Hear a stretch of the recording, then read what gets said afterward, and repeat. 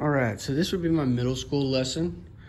Um, this could uh, be taught to the sixth, seventh, or eighth grade levels, uh, depending on which classes I'm in charge of that particular day, uh, since health and physical education teachers are K through 12 certification. Um, this could be taught with the same effectiveness to any of those three grade levels, the sixth, seventh, or eighth. Um, I would do this as like a uh, smoking prevention day.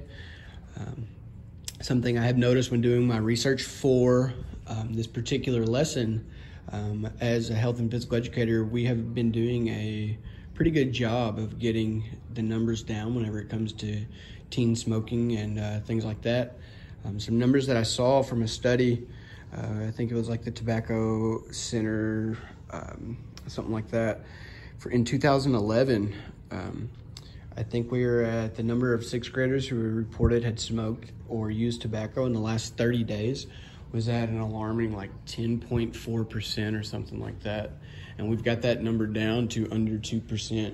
But that doesn't mean that our job's done. Obviously, we need to keep stressing this as a big point to kids because I mean, it's obviously highly addictive. And once kids start picking it up, it's real hard for them to put it down.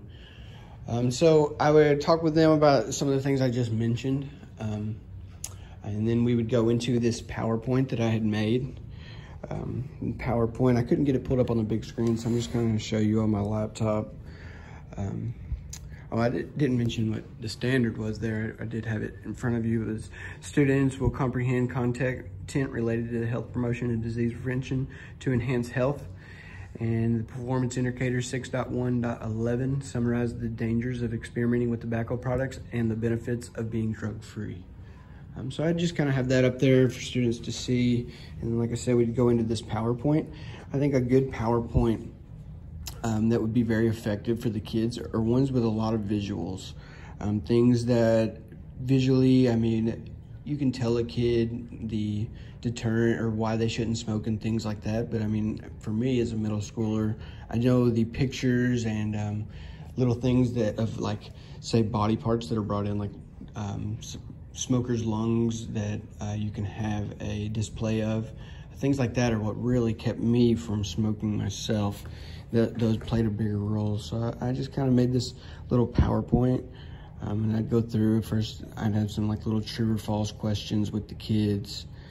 Um, and, and throughout this, there'd be a lot of open discussion. I'd encourage little comments, questions, things like that.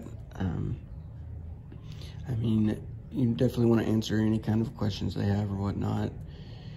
Um, and then you just kind of go through and we discuss the dangers of smoking, why you see the slide smoking is cool. I forgot to put my question mark there because that is not a statement. That is a question because um, then you go into the false.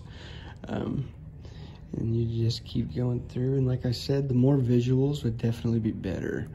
Um, and it's things that those are the type things that really stand out to the children um, or to the students. And, uh, and yeah, that's kind of the lesson there. And uh, that, like I said, would be my smoking prevention day for my middle school classes. Thank you.